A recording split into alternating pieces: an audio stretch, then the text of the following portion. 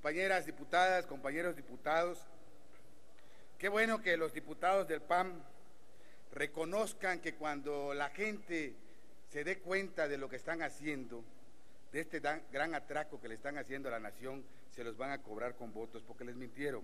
No se los prometieron en campaña. Se los van a cobrar cuando se den cuenta de que están vendiendo a la nación.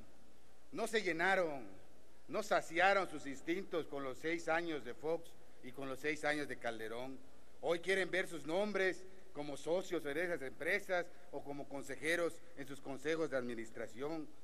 Yo sí, no me pueden decir, a lo mejor dicen electoreros, puede ser, pero no seremos vendepatrias, no seremos ratas y mucho menos traidores a la patria. El propósito de la defensa nacionalista de la riqueza de nuestro país, que motivó al general Lázaro Cárdenas en 1938 a expropiar las compañías petroleras, la expropiación petrolera, fue una respuesta soberana del presidente Cárdenas ante la rebeldía de las petroleras extranjeras que se negaron a respetar un laudo de la Suprema Corte de Justicia de la Nación a favor de las demandas salariales y prestaciones laborales de los trabajadores petroleros. La reforma energética de Peña Nieto integra una contrarreforma laboral. Los trabajadores petroleros y electricistas perderán sus derechos al reparto de utilidades y se les presionará para que pasen al injusto régimen de pensiones individuales administradas por las depredadoras Afores.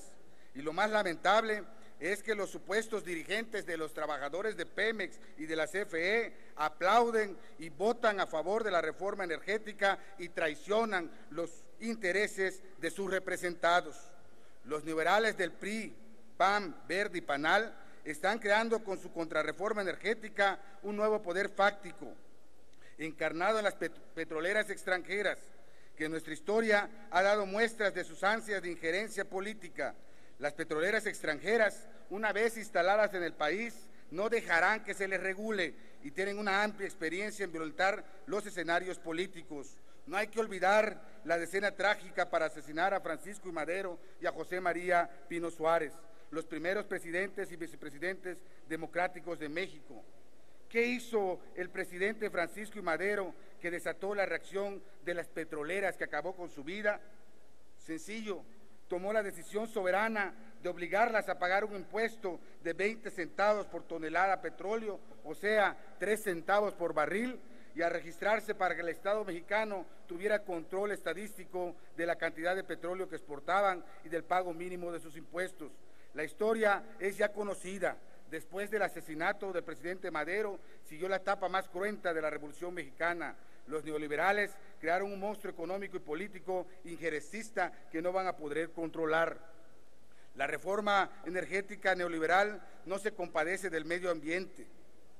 Con todos estos de querer explotar el gas lutitas con el método del fracking, que pretenden explotar 20 mil pozos que provocarán daños severos al medio ambiente cuando se, utilizarán miles de millones de metros cúbicos de agua que serán convertidas en fuente de contaminación para la fertilidad de la tierra, de los bosques y la vida de las comunidades rurales. Qué paradoja el PBM que debería estar defendiendo al menos la conservación del medio ambiente se ha colocado del lado de la reforma neoliberal neoliberal que dejará una estela de muerte en la naturaleza, donde podrían dañarse las tierras de 5.866 ejidos de 260 municipios y dos estados de la Federación. Los neoliberales del PRI, PAN, PRD, Verde y PANAL y el presidente de la República traicionan a sus electores, pues no les dicen la verdad de su anacrónica reforma. En campaña no le dijeron a la gente sus verdaderas intenciones. Diputado, ¿me permite un momento? la diputada Bonilla desea formularle una pregunta. ¿La acepta? Con mucho gusto, diputada Juan. Adelante, diputada. Gracias, eh, diputado Alejandro Cuevas. He estado escuchando atentamente su intervención y efectivamente nuestra fracción nos hemos pronunciado por, e, en contra de, estas, de esta iniciativa de la ley de hidrocarburos. Desde su punto de vista, en su intervención, quisiera que nos comentara cuáles cree que son los daños más severos, que ya se han comentado algunos, pero creemos que aún faltan, ¿Cuáles son los daños más severos que esta contrarreforma energética va a traer a los mexicanos y a este país? Con mucho gusto, diputada Bonilla. Miren, podemos sintetizar en algunos puntos. Por ejemplo, se pierde la soberanía nacional al dejarle al gobierno federal la propiedad y el dominio de todos los bienes de la nación, de la tierra, de los mares. O sea, el Estado soy yo, el dueño soy yo. Eso están haciendo que sea el presidente de la República. Se pierden derechos laborales. La reforma laboral permite ahora los contratos a prueba de los trabajadores. Esta reforma que se hizo hace un año eh, fue el último albazo de, de Felipe Calderón, donde ya se pueden contratar a los trabajadores eh, a prueba y por hora y esto va a contrastar con el voraz enriquecimiento que obtendrán las nuevas contratistas transnacionales. Fíjense, los trabajadores no van a tener derecho ni siquiera al reparto de utilidades eh, de estas empresas. O sea, esta es una revancha, pareciera que es una lucha entre el comunismo y el capitalismo. Se están vengando de los trabajadores. Ya cualquier trabajador que comúnmente goza de las utilidades, con esta reforma ya no las van a poder realizar. O sea, hay un daño al medio ambiente muy grave con el fracking, que es una contaminación de aguas y tierras que busca el deterioro ambiental en toda costa. Esto ya se está promoviendo en Europa y en eh, varios países de Europa.